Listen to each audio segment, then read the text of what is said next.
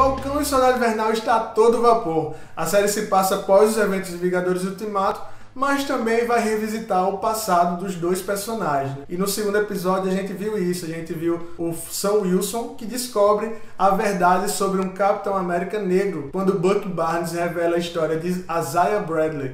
E o nosso vídeo de hoje é sobre este herói até então desconhecido no MCU. Vale lembrar que aqui vai ter spoilers, tá certo? Do segundo episódio de Falcão e Soldado Invernal. Então, se você ainda não assistiu o episódio, é bom assistir e depois corre aqui para tirar essa dúvida. Mas antes, eu quero pedir a você que ainda não é inscrito aqui para se inscrever clicando aqui embaixo e não perder nenhuma das nossas dicas, tá certo? Sempre tem dicas de filme, de série, tem a cobertura todinha de Falcão e Soldado Invernal. Então, roda a vinheta aí, Martinho.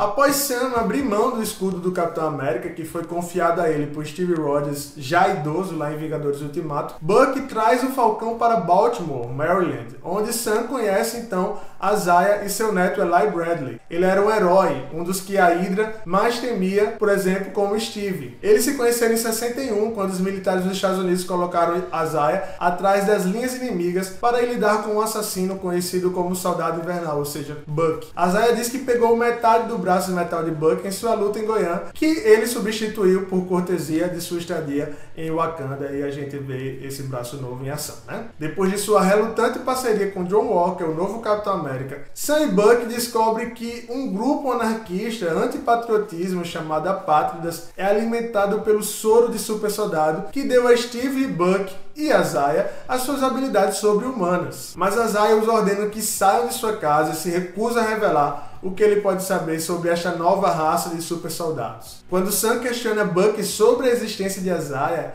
e como nunca ninguém mencionou isso antes, Buck revela a verdade, Azai é um segredo porque Buck o manteve em segredo. E ele nunca disse isso a Steve. Atordoado então Sam pergunta, você está me dizendo que houve um super soldado negro décadas atrás e ninguém sabia sobre ele? Nos quadrinhos da Marvel, a história de Azai é contada na minissérie Truth, Red, White and Black, em 2003, que não chegou ao Brasil, onde é revelado que Azaya foi um dos 300 soldados afro-americanos usados como cobaias pelo projeto Renascimento, a tentativa do governo de recriar o soro super soldado que transformou Steve Rogers no Capitão América. Azai, assim como na série, foi preso por servir heroicamente ao seu país usando a fantasia roubada do Capitão América e um escudo com o logotipo da campanha Double V. O Capitão América Negro impediu os nazistas de desenvolverem seu próprio exército de super soldados. Então, será que teremos um flashback do Capitão América Negro aí em ação em algum momento da MCU. Conta pra mim aqui nos comentários se você também quer mais desse herói em tela, quer ver o Azaia em ação no passado.